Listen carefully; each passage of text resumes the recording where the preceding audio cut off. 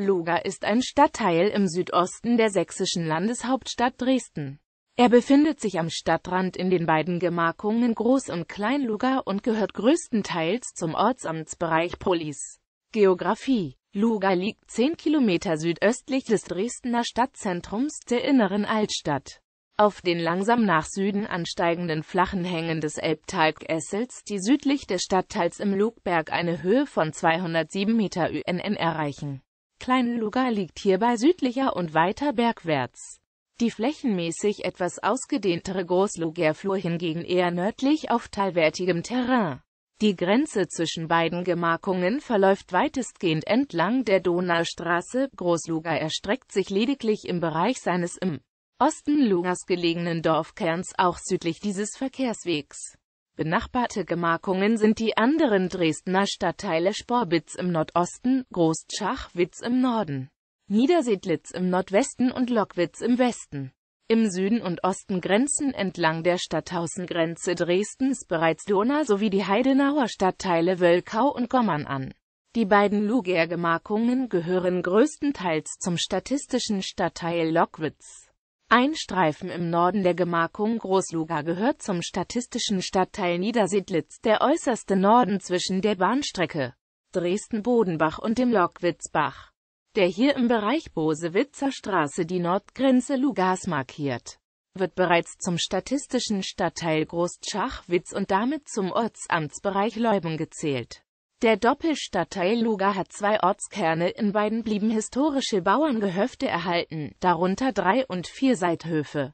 Der Großluger Dorfplatz heißt Lugerplatz und liegt in einer Höhe von 140 Meter Ü. NN und damit ebenso wie der etwa 300 Meter weiter westlich gelegene Kleinluger Ortskern-Teichplatz bereits deutlich oberhalb der Talsohle der Elbe.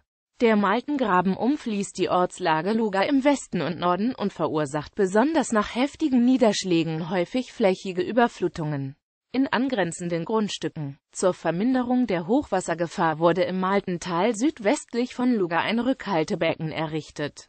Der Kleinlugeer Dorfteich wird hingegen vom Heilborn, einer kleinen Quelle, gespeist. Am Teichplatz steht ferner eine 1883 gepflanzte und mittlerweile als Naturdenkmal ND 88 ausgewiesene Luthereiche. Besonders in Großluga, also nördlich der Donaustraße, stehen Wohnsiedlungen. Die Ortslage ist von ausgedehnten unbebauten Flächen, häufig Feldern, umgeben, die sie von den umliegenden Dresdner Stadtteilen trennen. Dagegen ist Luga baulich eher mit Heidenau-Gommern zusammengewachsen.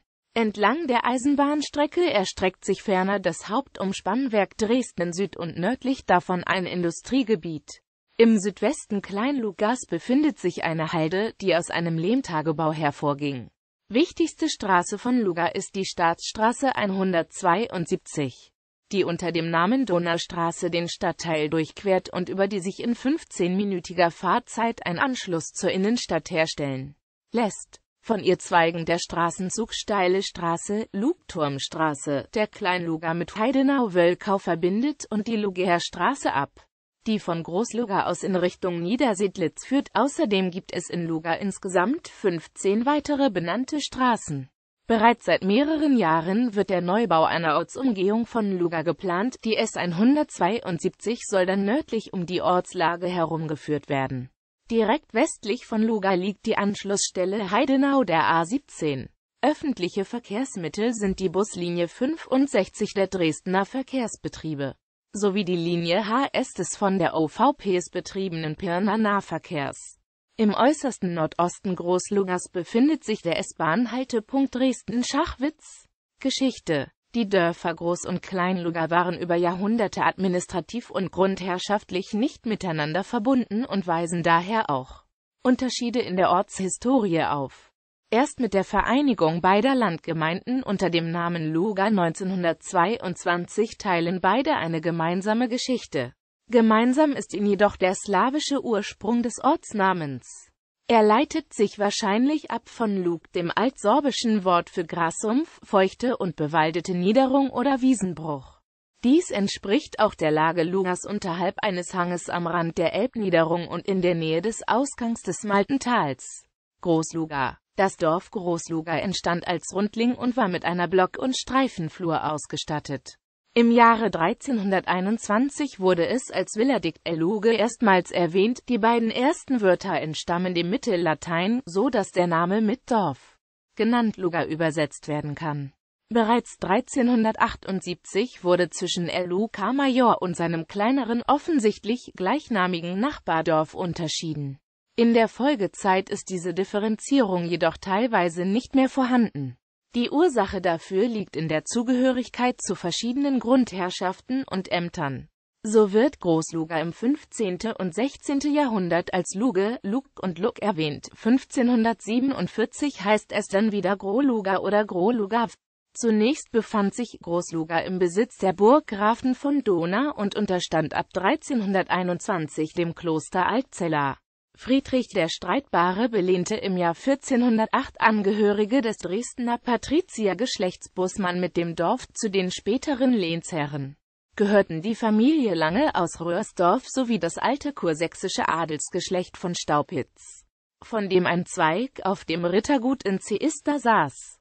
Die anfänglich komplette Zugehörigkeit zum Amt Dresden wich Mitte des 16. Jahrhunderts vorerst zugunsten eines Pirner Anteils bis um 1690 Dekasekunden gesamte Dorf ans Amt Pirna überging. Noch 1875 gehörte Großluga zur Amtshauptmannschaft Pirna und kam erst später zur Amtshauptmannschaft Dresden. Eingepfarrt war der Ort nach Dona. Das Schulhaus der 1841 gegründeten Schulgemeinschaft von Groß- und Kleinluga mit Gormann und Wölkau wurde im selben Jahr in Großluga errichtet, seit 1899 besteht ein neues Schulgebäude an der Kleinluger Straße, das heute durch die 90. Grundschule genutzt wird. Im Jahr 1898 wurde überdies ein eigenes Rathaus gebaut. Bis zum Ende des 19. Jahrhunderts bestand Großluger nur aus wenigen Gehöften, die Haupterwerbsquelle der Bewohner war die Landwirtschaft und daneben auch der Obstbau, der Anbau von Wein und Flachs sowie die Strohflechterei. Die Errichtung der Eisenbahnstrecke brachte dann einen Aufschwung mit sich. Im heutigen Südosten Dresdens gründete sich eine Vielzahl von Industriebetrieben, da für die Arbeiter und Angestellten dieser Werke Wohnraum benötigt wurde. Dehnte sich Großluga über den Dorfkern hinaus nach Nordwesten aus und neue Mietshäuser entstanden. Außerdem siedelte sich in Großluga selbst nahe der Grenze zu Niedersiedlitz direkt nördlich der Bahnstrecke die Stahlbaufirma Kelle und Emp. Hildebrand an. Kleinluger Die Kleinluger Flur war schon während der mittleren Bronzezeit bewohnt. Dies geht aus verschiedenen Relikten einer im Lehm-Tagebaugelände ausgegrabenen Siedlung hervor, die auf diese Epoche datiert wurden. Vorgefunden wurden alte Keramiken, Mahlsteine und Vorratsgruben. Zwischen Kleinluger und Niedersiedlitz entdeckte man außerdem die Überreste einer slawischen Siedlung aus dem 11. und 12. Jahrhundert. Der etwas lockerer bebaute Rundling Kleinluger hatte eine Blockflur. Im Jahr 1378 wurde es im Unterschied zu Großluger als Lugmeiner erstmals erwähnt, was mit Kleines Luger übersetzt werden kann. Der Ortsname entwickelte sich anschließend im 15. und 16. Jahrhundert über die Formen Lusk, Luska, Fleischke und Lauke hin zu Kleinluge das 1547 und 1554 genannt wird. Im Jahr 1610 heißt das Dorf Klein-Lauschka. Auffällig ist bei den früheren Namensformen Kleinlugas ein im Vergleich zu Großluga stärkerer Bezug zum mit Lukur verwandten altsorbischen Wort Luse, das für eine sumpfige, feuchte Wiese steht. Kleinluga, das damals noch ausgesprochen wenige Gehöfte umfasste, gehörte laut alten Urkunden 1445 zum Besitz eines Hans Marschalk. Auch dem Meißner Domstift war man tributpflichtig. Im Jahr 1453 tauschte Kaspar von Schönberg, damaliger Bischof von Meißen, mit dem sächsischen Kurfürsten Friedrich dem Sanftmütigen Teile von Kleinluga gegen ein anderes Dorf ein.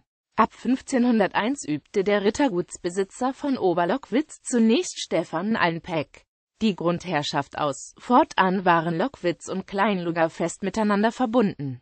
Im Jahr 1572 brach zwischen den Grundherren und Einwohnern beider Lugas ein Streit um die knappen Wasserreserven aus. Das Trinkwasser musste über lange Röhrfahrten in die Dörfer geleitet werden. Wie Großluga gehörte auch Kleinluga zur Dona Parochi.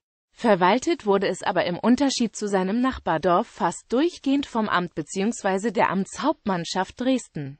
Südlich von Kleinluga verlief die Dresden-Teplitzer Poststraße, die heute in diesem Abschnitt Alte Landstraße heißt. Über diese wichtige Handels- und Heerstraße in Richtung Böhmen zog häufig Militär, was beispielsweise während der Donauischen Fehde um 1402 und der Befreiungskriege um 1813 einige Beeinträchtigungen für Luga mit sich brachte.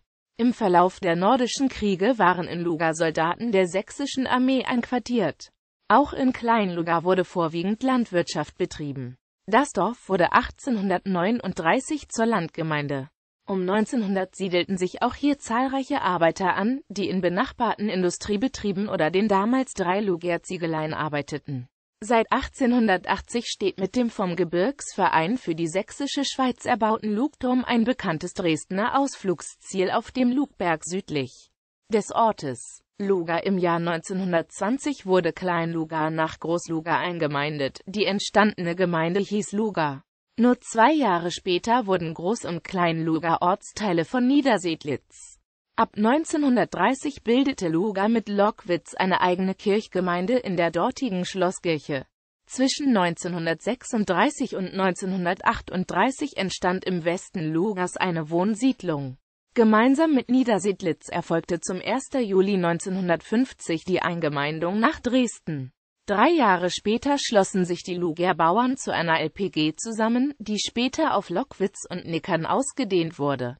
Bis heute ist Luga hauptsächlich ein Wohnort, hat aber auch mehrere bedeutende Gewerbeunternehmen. Die Dorfkerne wurden nach der Wende restauriert. Nach 2000 entstand außerdem das Grüne Viertel, eine auch als Gartenstadt Großluga bekannte kleine Wohnsiedlung im Westen Großlugas. Einwohnerentwicklung